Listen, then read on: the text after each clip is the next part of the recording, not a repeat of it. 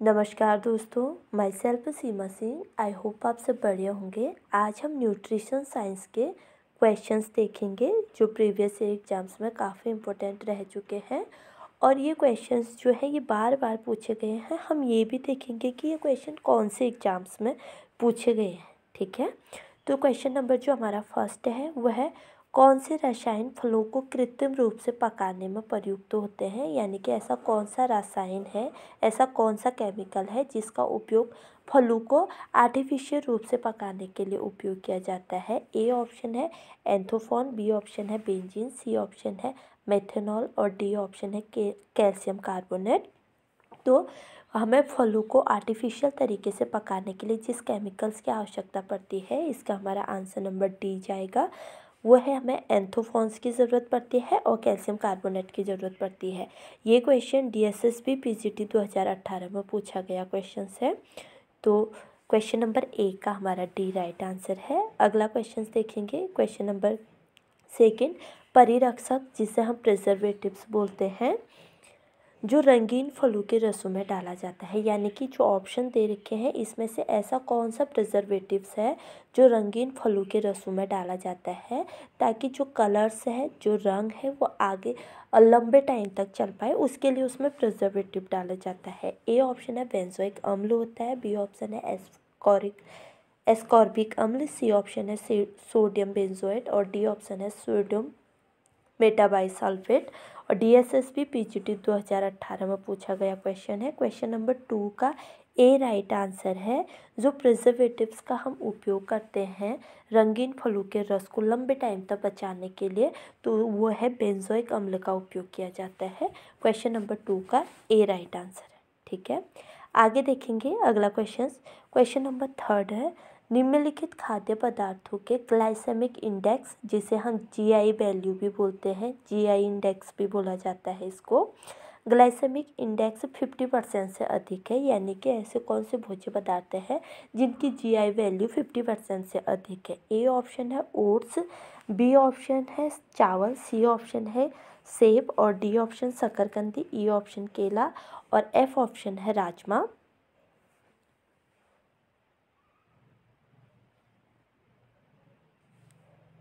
Question number third का जो हमारा राइट आंसर है क्वेश्चन नंबर थर्ड का सी राइट आंसर है, वो कौन से भोज्य पदार्थ ऐसे हैं जिनका ग्लाइसेमिक इंडेक्स पचास परसेंट से अधिक है?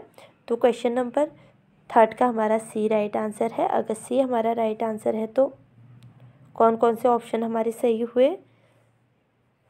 क्वेश्चन नंबर बी चावल का जो ग्लाइसेमिक इंडेक्स होता है फिफ्टी परसेंट से अधिक होता है। और शकरकंदी का ग्लाइसेमिक इंडेक्स भी फिफ्टी परसेंट से अधिक होता है और ई केले का ग्लाइसेमिक इंडेक्स भी फिफ्टी परसेंट से अधिक होता है। तो इसके हिसाब से जो हमारा आंसर क्या है, वो कौन सा हुआ? क्वेश्चन नंबर थर्ड का सी राइट आंसर है, ठीक है? फिफ्टी जो चावल है, इसका ग्लाइसेमिक इंडेक्स भी फिफ्टी परसेंट से अधिक होता है, शकरकंदी का अधिक होता है और केले का ग्लाइसेमिक इंडेक्स फिफ्टी परसेंट से अधिक होता है। ठीक है? अगला क्वेश्चन देखेंगे क्वेश्चन नंबर फोर्थ देखेंगे। प्याज काटते वक्त हमें किस कारण रोना आता है? जब हम प्याज काटते हैं तो हमारे आँखों से जो आँसू निकलता है, वो किसके कारण निकलता है? ए ऑप्शन है, उसमें सल्फ़र यौगिक से निकलता है। बी ऑप्शन है एंजाइम्स की क्रिया से निकलता है। सी ऑप्शन है, वाष्पशील सल्फ़र के उत्पन्न उत्पन्न होता है, उसमें इससे निकलता है। या डी ऑप्शन है, सभी से। ये क्वेश्चन भी D S S B P G T दो हज़ार अट्ठारह में पूछा गया क्वेश्चन है। तो जब हम प्याज काटते हैं, उसमें जो हमारे आँसू निकलते हैं, वो किसके कारण से निकलते हैं? वो सल्फ़र यौगिक के कारण से निकलते हैं, क्योंकि जो हमारा प्याज होता है, उसमें सल्फ़र्स पाए जाते हैं, ठीक है? प्याज काटते समय जो हमारे आँखों में से आँसू निकलते हैं, वो सल्फ़र यौगिक के कारण आता है, क्योंकि जो प्याज होता है, उसमें सल्फ़र्स पाया जाता है, ठीक है? अगला क्वेश्चन देखेंगे। क्वेश्चन नंबर फाइव है, चाय के उत्पादन में संबंधित चरणों को सही क्रम में व्यवस्थित कीजिए। ठीक है? जब हम चाय का उत्पादन करते हैं, यानी कि चाय पत्ती बनाते हैं तो उसके लिए हमें किस किस प्रोसेस से हो, होकर गुजरना पड़ता है, उसको स्टेप बाय स्टेप लगाना है। पहले कौन सी क्रिया करेंगे, उसके बाद कौन सी करेंगे। ठीक है? ए ऑप्शन है फायरिंग बी ऑप्शन है बीदरिंग सी ऑप्शन है फर्मेशन फर्मेंटेशन और डी ऑप्शन है रोलिंग ई ऑप्शन है सॉर्टिंग, एफ़ ऑप्शन है ब्लेंडिंग और जी ऑप्शन है पैकेजिंग। तो क्वेश्चन नंबर फाइव जो है, इसमें जो हमारा सबसे पहला ऑप्शन आएगा, सबसे पहले हम क्या करेंगे, जो हम चाय पत्ती बनाते हैं, उसके लिए सबसे पहले हम बीदरिंग प्रोसेस करेंगे, ठीक है? सबसे पहले बीदरिंग करेंगे और उसके बाद जो चाय की पत्तियाँ हैं, उनको रोलिंग करेंगे। उनको रोल किया जाएगा और फिर उनको फर्मेंटेशन किया जाएगा। सी ऑप्शन सही रहेगा। फिर उसके बाद उनको फर्मेंटेशन किया जाएगा, यानी कि उनको खमीरी की रीत किया जाएगा फर्मेंटेशन किया जाएगा उनमें। फिर उसके बाद फायरिंग प्रोसेस की जाएगी और फायरिंग प्रोसेस करने के बाद सॉर्टनिंग किया जाएगा और सॉर्टनिंग करने के बाद हम उनको क्या कर लेंगे? ब्लेंडिंग करेंगे, ठीक है? ब्लेंड करने के बाद लास्ट में जब वो पूरी तरीके से बन के तैयार हो जाएगा तो उसके बाद हम उसकी क्या करेंगे? पैकेजिंग करेंगे, ठीक है? तो क्वेश्चन नंबर जो फाइव है, ये कोड के अकॉर्डिंग कौन सा सही होगा? सबसे पहले तो हमारा बी आएगा। बी किसमें फ़र्स्ट है? ऑप्शन नंबर सी में बी फ़र्स्ट है तो इसका मतलब हमारा जो आंसर होगा वो बी आएगा। सबसे पहले हम बीतरिंग करेंगे, उसके बाद हम डी रोलिंग करेंगे, उसके बाद सी फर्मेंटेशन करेंगे, उसके बाद ए फायरिंग करेंगे, उसके बाद ई सॉर्टिंग करेंगे और उसके बाद ब्लेंडिंग और पैकेजिंग करेंगे। ठीक है? तो हमारा जो क्वेश्चन नंबर फाइव है, इसका राइट आंसर सी होगा। अगला क्वेश्चन देखेंगे। क्वेश्चन नंबर सिक्स है। सूची एक को सूची सेकंड के साथ सम्मिलित करें। क्वेश्चन नंबर सिक्स है। सूची फ़र्स्ट को सूची सेकंड के साथ सम्मिलित करें। सूची फ़र्स्ट में एल्कलाइन कैरोटिनॉइड्स कुमारिन लाइकोफिन और फ्लेवोनाइड्स ऐसे वर्णक दिए हैं जो में पाए जाते हैं। सूची से में गाजर, हल्दी, चीज़, पनीर, कैफीन, टमाटर और लहसुन दिए ठीक है? तो सूची एक में जो एल्कलाइन होता है, ये किसमें पाया जाता है? कैफीन में पाया जाता है। ठीक है? एल्कलाइन किसमें पाया जाता है? एल्कलाइन कैफीन में पाया जाता है। तो हम ए को मिलाएँगे फोर से। ठीक है? ए को फोर से मिलाएँगे तो हमारा फ़र्स्ट क्वेश्चन फ़र्स्ट ऑप्शन ही सही हो जाता है, ठीक है? ए को जब हम फोर से मिलाते हैं तो हमारा फ़र्स्ट ऑप्शन सही हो जाएगा, लेकिन फिर भी हम क्वेश्चंस को सही से देखेंगे। फिर कैरोटिनाइट किसमें पाया जाता है? कैरोटिनाइट गाजर में पाया जाता है।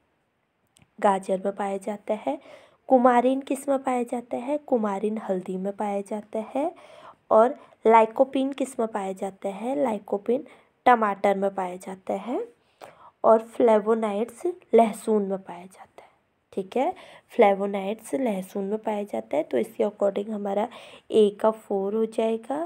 कैरोटिनाइड्स बी ए गाजर में पाया जाता है कुमारिन सेकंड हल्दी में पाया जाता है और लाइकोफिन टमाटर में पाया जाता है और फ्लेवोनाइड्स लहसुन में पाया जाता है। तो क्वेश्चन नंबर हमारे सिक्स का ऑप्शन नंबर ए राइट होगा। अगला क्वेश्चन देखेंगे। क्वेश्चन नंबर सेवन है। फल तथा सब्ज़ी सब्ज़ी अच्छे स्रोत होते हैं निम्न में से किसके? ठीक है, जो फल सब्ज़ियाँ होती हैं, वो किसकी स्रोत होती हैं? ए ऑप्शन है खनिज लवण, प्रोटीन तथा वसा के। बी ऑप्शन है कार्बोज, विटामिन्स, खनिज लवण के। और सी ऑप्शन है खनिज लवण, विटामिन्स और रेसों के। डी ऑप्शन है प्रोटीन वसा और कार्बोज क्वेश्चन नंबर सेवन का हमारा सी राइट आंसर है।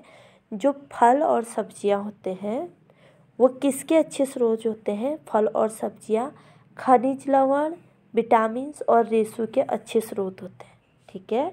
जो खनिज लवण होते हैं, वो खनिज लवण सॉरी जो फल एवं सब्ज़ियाँ होते हैं, वो खनिज लवण और विटामिन रेसे के अच्छे स्रोत होते हैं। और ये क्वेश्चन कब पूछा गया है? ये क्वेश्चन पूछा गया है प्रवक्ता एग्ज़ाम 2024 में पूछा गया। ठीक है? तो हम ये समझ लेते हैं कि जो फल और सब्ज़ियाँ होते हैं, वो कैसे अच्छे स्रोत होते हैं खनिज लवण विटामिन और रेसू के। तो उत्तम स्वास्थ्य की प्राप्ति के लिए हमें क्या करना चाहिए? अपने आहार में फल एवं सब्जियों को शामिल करना चाहिए। यह हमें स्वस्थ, निरोगी, फुर्तीला एवं चुस्त बनाए रखने में अहम भूमिका निभाते हैं। इसमें विटामिन एवं खनिज लवण भरपूर मात्रा में उपस्थित रहते हैं। जो फल और सब्ज़ियाँ होते हैं, इनमें विटामिन खनिज लवण भरपूर मात्रा में उपस्थित रहते हैं, जो हमें विभिन्न रोगों से सुरक्षा प्रदान करते हैं, ठीक है?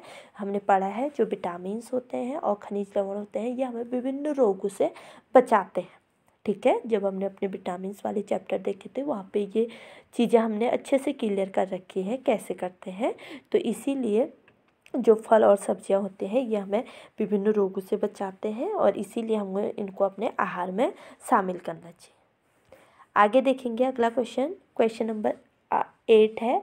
खाद्य प्रक्रमण जिसमें अनाज का मांड चीनी में परिवर्तित होता है, उसे क्या कहते हैं? वो खाद्य प्रक्रमण जिसमें अनाज का मांड चीनी में परिवर्तित होता है, उस प्रक्रिया को हम क्या कहते हैं? उस प्रक्रिया को हम पकाना कहते हैं या भाप देना कहते हैं? माल्ट करना कहते हैं या बेक करना कहते हैं? क्वेश्चन नंबर एट का सी राइट आंसर है। जब हमारा खाद्य पदार्थ माल्ट यानी कि चीनी में परिवर्तित होता है, इस प्रक्रिया को हम माल्ट करना कहते हैं। क्वेश्चन नंबर एट का सी राइट आंसर है। पीजीटी 2005 में पूछा गया क्वेश्चन है ठीक है? आगे देखेंगे। आगे क्वेश्चन है। क्वेश्चन नंबर नाइन है। काली चाय से हरी चाय बेहतर होती है। क्यों? हमें रीज़न बताना है कि जो काली चाय होती है, उससे जो ग्रीन टी होती है, हरी चाय हम ग्रीन टी को बोलते हैं तो हरी चाय बेहतर होती है। क्यों होती है हमें ये बताना है? ए ऑप्शन है, इसमें अधिक एंटीऑक्सीडेंट पाए जाते हैं। बी ऑप्शन है, वह हल्की होती है। सी ऑप्शन है, इसमें क्लोरोफिल पाया जाता है और डी ऑप्शन है, वह देखने में सुंदर होती है।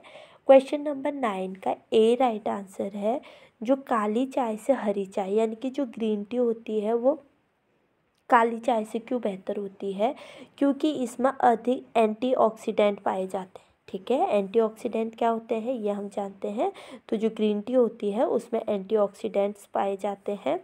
क्वेश्चन नंबर नाइन का ए राइट आंसर है, और ये क्वेश्चन प्रवक्ता एग्ज़ाम 2015 में पूछा गया क्वेश्चन है। ठीक है? अब हम थोड़ा एंटीऑक्सीडेंट के बारे में जानेंगे। एंटीऑक्सीडेंट क्या होते हैं? काली चाय से बेहतर, काली चाय से बेहतर हरी चाय होती है। हरी चाय को माना जाता है क्योंकि हरी चाय में 10 से 40 माइक्रोग्राम्स पॉलीफिनोन्स नामक पदार्थ पाए जाते हैं, जो एंटीऑक्सीडेंट का कार्य करता है। ब्लैक टी और ग्रीन टी दोनों ही कैमेलिया सिनेसिस नाम के पेड़ की पत्तियों से बनाए जाते हैं। चाहे वो ब्लैक टी हो या ग्रीन टी हो, दोनों ही किससे बनाए जाते हैं? कैमेलिया सीनेसिस पेड़ के पत्तियों से बनाए जाते हैं। लेकिन काली और हरी चाय में मुख्य अंतर यह है कि काली चाय फर्मेंटेशंस से बनाई जाती है। ठीक है? जो काली चाय की जो जो हम पत्तियाँ बनाते हैं, काली चाय के लिए, वो फर्मेंटेशन प्रक्रिया से बनाई जाती है, जबकि हरी चाय को इस प्रोसेस प्रोसेस से नहीं गुजरना पड़ता है। फर्मेंटेशन के दौरान चाय कई नेचुरल फ़ायदेमंद तत्व बाहर निकल जाते हैं, ठीक है? जब हम चाय की पत्तियों को फर्मेंटेशन करते हैं तो उससे क्या होता है? जो हमारे कैमेलिया के पेड़ के जो पत्ते हैं, उसमें से क्या होता है, कई नेचुरल फ़ायदेमंद तत्वों से बाहर निकल जाते हैं और डब्ल्यू एच ओ के वर्ल्ड हेल्थ ऑर्गेनाइजेशन के अनुसार फर्मेट, फर्मेंटेशन से बने खाद्य पदार्थों में एथिल कार्बोनेट कैंसर कारक बन जाता है। इस दृष्टि से भी ग्रीन टी बेहतर मानी जाती है। ठीक है? ग्रीन टी को क्यों बेहतर माना जाता है? डब्ल्यू एच ओ की रिसर्च के अनुसार अगर कोई भी भोज्य पदार्थ है, वो फर्मेंटेशन प्रक्रिया से बनाया जा रहा है तो उसमें क्या होता है? एथिल कार्बोनेट कैंसर कारक बन जाते हैं। तो इसीलिए जो ब्लैक चाय होती है, वो ग्रीन टी से अच्छी नहीं मानी जाती है ग्रीन टी को अच्छा माना जाता है। ठीक है? आगे देखेंगे, अगला क्वेश्चन से हमारा क्वेश्चन नंबर दस है। प्राणिज भोज्य पदार्थ और वनस्पति भोज्य पदार्थों द्वारा प्राप्त होता है। क्वेश्चन नंबर टेन प्राणिज भोज्य पदार्थ और वनस्पति भोज्य पदार्थों से हमें क्या प्राप्त होता है? ए ऑप्शन है खनिज प्राप्त होता है। बी ऑप्शन है वसा प्राप्त होती है। सी ऑप्शन है प्रोटीन प्राप्त होता है। और डी ऑप्शन है उपयुक्त सभी। क्वेश्चन नंबर टेन का डी राइट आंसर है जो प्राकृतिक और वन वानस्पति भोज्य पदार्थ होते हैं, उनसे हमें ये सभी प्राप्त होते हैं। खनिज लवण भी प्राप्त होते हैं, वसा भी प्राप्त होती है और प्रोटीन भी प्राप्त होता है। तो जो हमारा क्वेश्चन नंबर टेन है, उसका डी राइट आंसर हो जाएगा। टी जी टी दो हज़ार चार में पूछा गया क्वेश्चन से। ठीक है? आगे देखेंगे क्वेश्चन नंबर ग्यारह है। निम्नलिखित में निम्नलिखित में से किसमें गाइट्रोजेनिक घटक नहीं होता है? ठीक है? ऐसा कौन सा घटक है जिसमें गाइट्रोजेनिक घटक नहीं होते हैं। ए ऑप्शन है पालक, बी ऑप्शन है बंद गोभी सी ऑप्शन है फूल गोभी और डी ऑप्शन है सलजम तो क्वेश्चन नंबर ग्यारह का डी राइट आंसर है सलजम ऐसा होता है जिसमें गाइट्रोजेनिक घटक नहीं पाए जाते। ठीक है? और जो पालक है बंद गोभी है फूल गोभी है, इनमें गाइट्रोजेनिक्स घटक पाए जाते हैं। और जो गाइट्रोजेनिक घटक होते हैं, वो क्या होते हैं? ये काफ़ी हानिकारक घटक होते हैं। ये क्या करते हैं? आयोडीन का अवशोषण कर, बढ़ा देते हैं हमारी बॉडी में और जो थायराइड थायराइड हार्मोन्स होते हैं, उसकी जो क्रिया होती है, उसको ये प्रभावित करते हैं। ठीक है? पालक बंद गोभी और फूल गोभी में जो गाइट्रोजेनिक्स घटक होते हैं, ये हमारे थायराइड ग्रंथि की जो क्रिया होती है, उसको प्रभावित करते हैं और ये हानिकारक पदार्थ होते हैं। ठीक है? तो जो सलजम होता है सलजम में गाइट्रोजेनिक्स घटक नहीं पाए जाते। आगे देखेंगे क्वेश्चन नंबर बारह है। क्वेश्चन नंबर बारह है, टमाटर का लाल रंग होता है, किसके कारण होता है? ए ऑप्शन है, लाइकोपिन्स के कारण होता है, बी ऑप्शन है, एंथोजेंथिन के कारण होता है, सी ऑप्शन है, एंथोसाइनिन के कारण होता है, और डी ऑप्शन है, कैरोटीन नाइट्स के कारण होता है। ठीक है? कैरोटीनाइट्स के कारण है। डी ऑप्शन है कैरोटीनाइट्स के कारण होता है। तो क्वेश्चन नंबर बारह का जो राइट आंसर है, जो टमाटर का लाल रंग होता है, वो लाइकोपिन के कारण होता है। क्वेश्चन नंबर बारह का ए राइट आंसर है, ठीक है?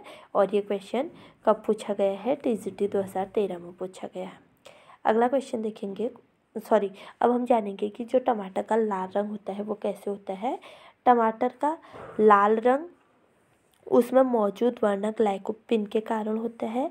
लाइकोपिन एक लाल, चमकदार, कैरोटीन, एम कैरोटिन, कैरोटीनाइट वर्णक द्रव और फैटी केमिकल्स है, जो टमाटर के अलावा अन्य लाल फलों एवं सब्जियों जैसे लाल गाजर, तरबूज और पपीते में पाए जाते हैं, जबकि एंथोसाइनिन के कारण प्याज तथा गाजर का रंग गहरा लाल रंग होता है। ठीक है? जो एंथोसाइन होता है, उसके कारण प्याज और गाजर का रंग रंग लाल होता है और टमाटर का रंग जो होता है, इसमें मौजूद वर्ण लाइकोपिन के कारण होता है। लाइकोपिन एक लाल रंग का चमकदार होता है, ठीक है? चमकदार पदार्थ होता है। कैरोटीनियम कैरोटिन कैरोटीनाइड रंग वर्णक और फैम फैटी केमिकल्स हैं, जो टमाटर के अलावा अन्य लाल फलों एवं सब्जियों में भी पाए जाते हैं, ठीक है? उनमें किसमें गाजर में, तरबूज में और पपीते में पाए जाते हैं। आगे अगला क्वेश्चन देखेंगे। क्वेश्चन नंबर तेरह है।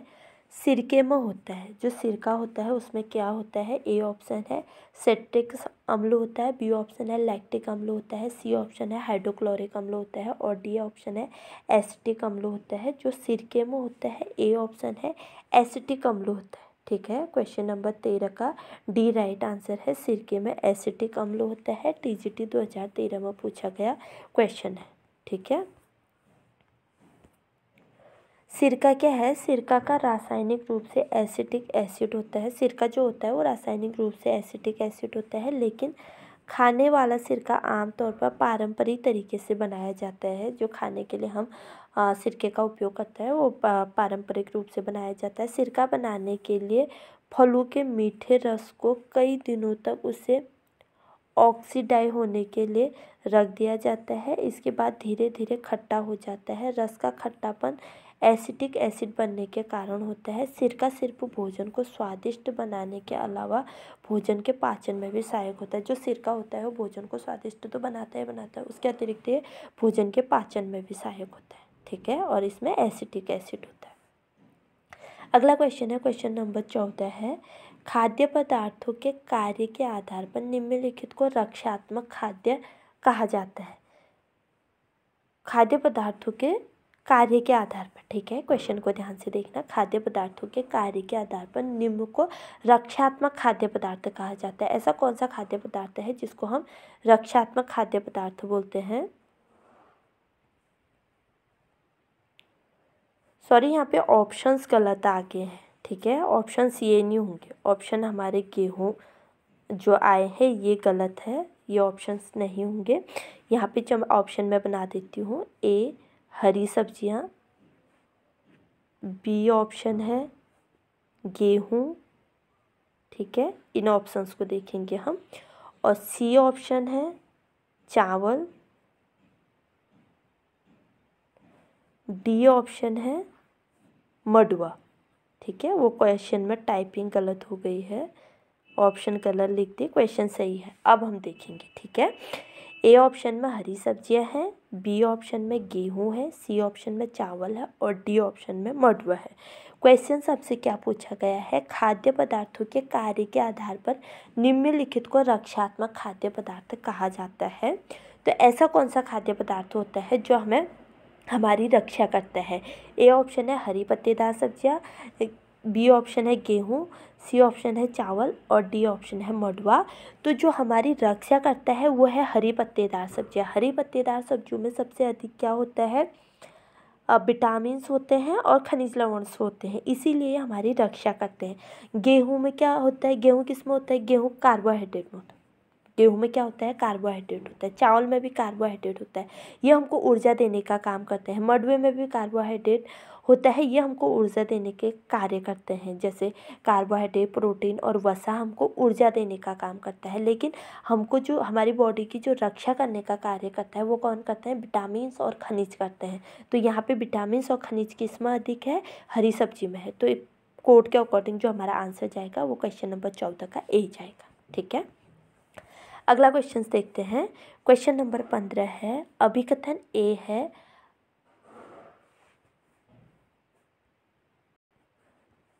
अभिकथन ए क्या है, इसको हम कट कर देंगे।